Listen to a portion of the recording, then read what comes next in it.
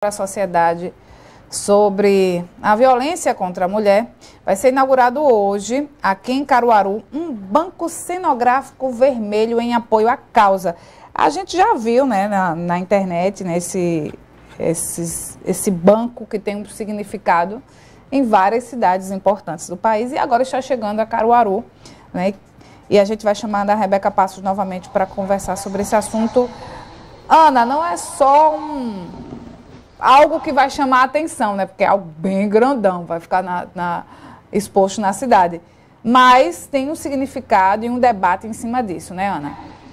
Isso, Renata, de volta aqui no Manhã Cidade, é, para trazer essa conscientização né, e a luta contra o, o número né, de casos de feminicídio no Brasil, né, no país, que vem crescendo a todo momento. É lamentável isso, não é uma mulher ser morta pelo simples fato de ser mulher, tá? Isso não é pouca coisa, tá, gente? Uma mulher que é vítima de violência, que é vítima de feminicídio, é, desencadeia diversas situações numa família, numa comunidade, numa sociedade. Então, é, é um banco cenográfico, Renata, de 4 metros de altura, porque a ideia é justamente chamar a atenção. Inclusive, eu estou muito curiosa para visualizar não é, esse objeto já instalado. Inclusive, ele vai ficar num lugar bem estratégico de Caruaru, que é num ponto turístico da cidade, para chamar a atenção e dizer, opa, o que é isso? Né? Por que ele foi colocado aqui? E algumas instruções estarão ali é, no fácil acesso das pessoas, instaladas nesse banco cenográfico, que a gente vai acompanhar agora o bate-papo com a representante da Secretaria de Políticas para Mulheres em Caruaru, que vai explicar direitinho como vai funcionar não é, a instalação desse banco na cidade. Luana Marabuco, secretária de Políticas para Mulheres de Caruaru. Luana, vem uma novidade para a cidade, né? Para realmente chamar a atenção e trazer esse alerta de combate ao feminicídio. O que é que vai ser instalado em Caruaru? Bom dia. Bom dia, vai ser instalado em Caruaru um Banco Vermelho, né?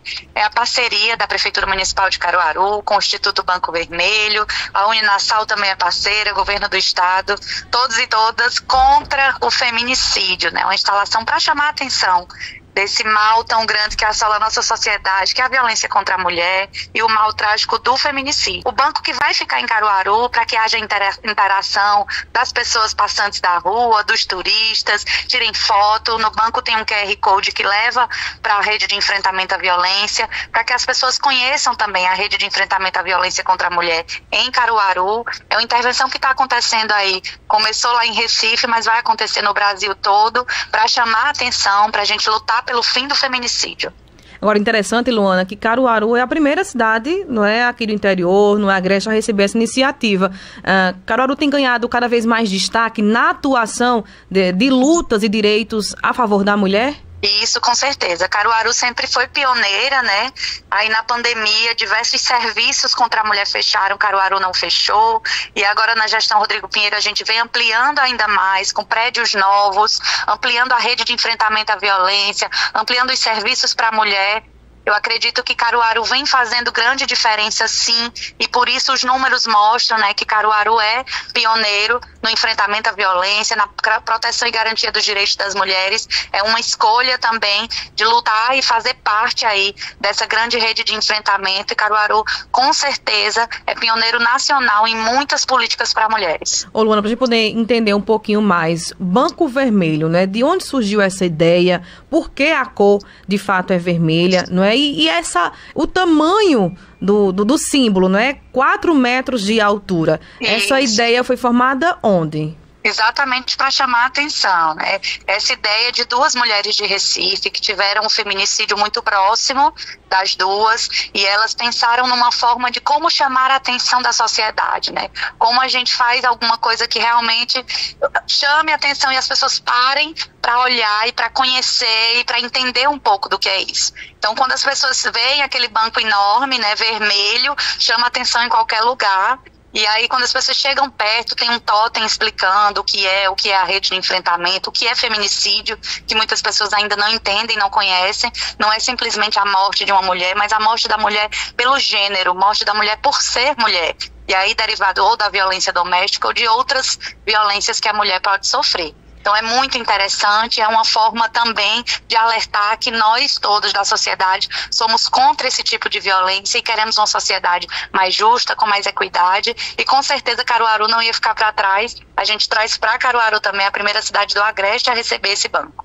E interessante que vai ficar instalado em um dos principais pontos turísticos de Caruaru, que é a estação ferroviária, né? Isso, isso. Como é um local onde todo mundo passa, né? Bem central, para que as pessoas realmente vejam. A estação ferroviária é o local onde a gente faz as festas, é onde acontece aí Carnaval, Semana Santa, a gente tá bem próximo da Semana Santa e Caruaru por Paixão e o próprio São João também, né? Então esse banco, ele vai ser instalado lá, mas ele é um banco móvel, a gente pode levar para outros lugares da cidade. É bem pesado, né?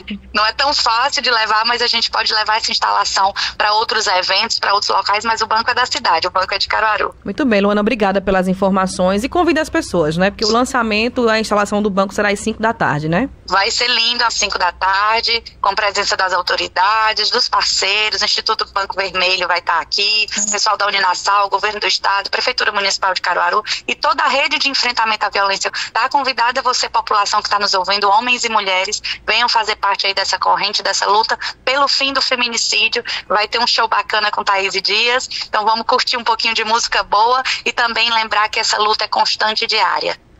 Obrigada, Luana. Bom dia. Obrigada, bom dia.